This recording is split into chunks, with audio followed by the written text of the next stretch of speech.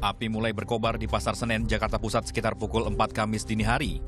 Api diduga bersumber dari eskalator lantai dasar Blok 2. Dengan cepat, si jago merah menghanguskan Blok 1 dan Blok 2 yang kebanyakan berjualan pakaian serta bahan tekstil. Puluhan mobil pemadam kebakaran dikerahkan ke lokasi. Sekitar 500 petugas diterjunkan. Perang melawan api bahkan berlangsung sepanjang Kamis malam. Pantang pulang sebelum padam, bukan sekedar menjadi semboyan. Banyak kendala yang dihadapi, mulai habisnya sumber air hingga alat pompa yang overheat. Saat api di bagian luar mulai padam, petugas masih berupaya padamkan api di bagian dalam. Minimnya cahaya menyulitkan akses para petugas. Itu kita antisipasi, makanya anak buah saya juga ketika nanti masuk, tolong upayakan dia dekat dengan kolom, tiang-tiang. Jadi jangan di tengah-tengah gitu kan.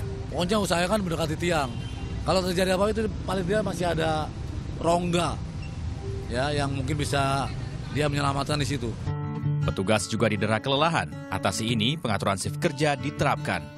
Sebagian bertugas, sebagian lagi beristirahat. Bahkan untuk makan pun, mereka harus rela bergantian. Satu yang menjadi pegangan, memadamkan api adalah komitmen dan juga kehormatan.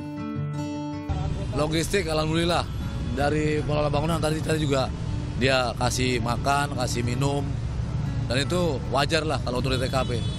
Yang penting anak buah saya nggak minta duit. Dan jangan, mereka juga nggak mau terima duit. Jumat pagi, asap masih mengepul di Pasar Senen. Api mulai padam setelah 24 jam berkobar.